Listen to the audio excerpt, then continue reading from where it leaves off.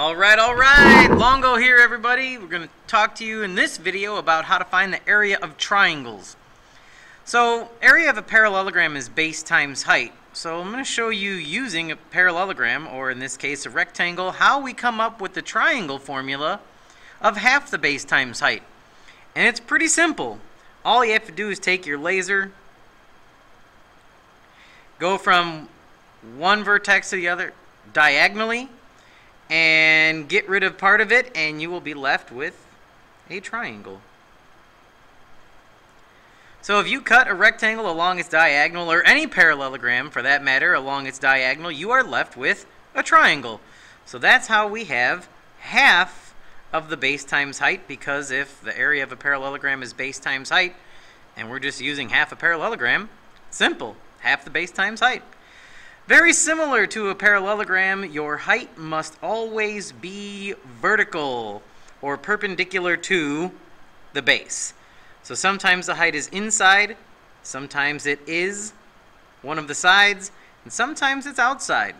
Just remember, very important, the height of a triangle is always got to be perpendicular to the base. After that, it's plain and simple.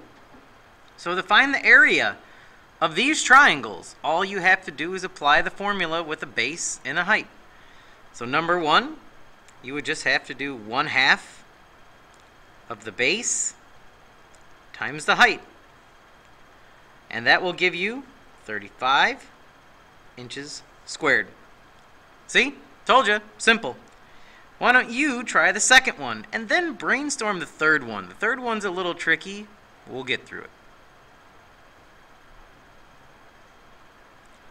So the second one, the base is 12. But the height is not 8, it's not 16, the height is 4. So the only reason it's tricky because the height is actually outside of the triangle. Again, don't worry about it. And 12 does not include this dashed line. It's only the actual base. So half the base times height is going to give you 24 centimeters squared. If you got that, you're good to go. And the third one, you should notice that we do not have enough information given to us. We need the base. However, since it's a right triangle, we could easily find that.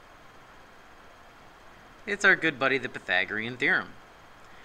So 25 minus 9b squared is going to give us 16. So the base is 4. So then we're just going to do half the base times the height of 3, and we get 6 yards squared. So sometimes if you don't have all the information, chances are it's pretty easy to just go ahead and find it. In this case, all you needed was the Pythagorean theorem. One working backwards problem. So the area of the triangle is 40. So if area is equal to 1 half the base times the height, and we're given that the area is 40, then we just have half the base times height. So we have 4, and then we're looking for the base. So 40, half of 4 is 2, b. Divide both sides by 2, and you get the base is equal to 20 inches. And that's it.